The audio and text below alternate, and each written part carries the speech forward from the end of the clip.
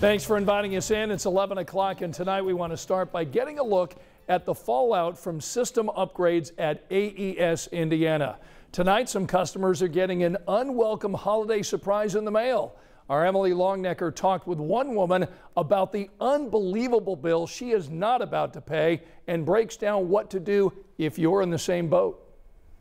Account balance is 10000 $521.42. That's the bill AES Indiana sent Sue Hildebrandt this week for a property Hildebrandt says she sold in November.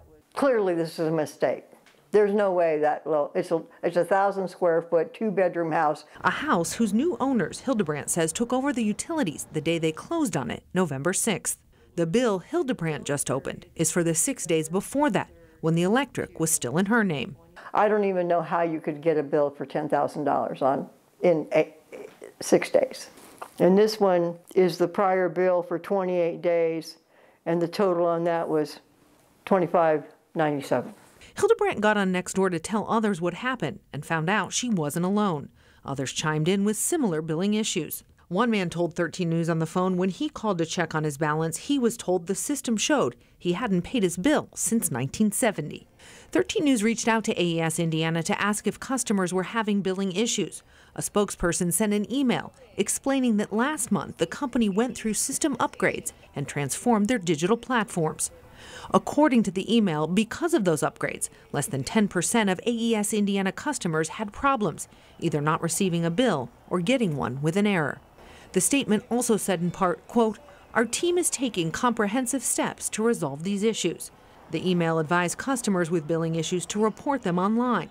The AES Indiana website also has a chat feature for questions and customer service numbers to call to report issues.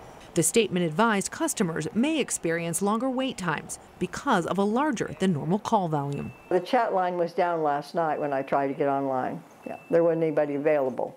I can't say I blame, I wouldn't want to be available either. Hildebrandt says she got through on the online chat Tuesday morning. They said they had to give me a case number and it would have to be uh, looked into in about three or four days or maybe a little longer due to the high call volume. She's just thankful she doesn't have automatic bill pay on her account. Because can you see somebody's banking account that got hit with this and it's going to be, oh, it's going to be three to four business days, maybe a little bit longer before we can resolve this issue. In the meantime, right before Christmas. Hildebrandt isn't losing sleep over it all. There's no way I'm going to pay this. I know I'm not going to pay it. I don't owe it. Now she's just waiting for the utility company to agree with her. In Indianapolis, Emily Longnecker, 13 News.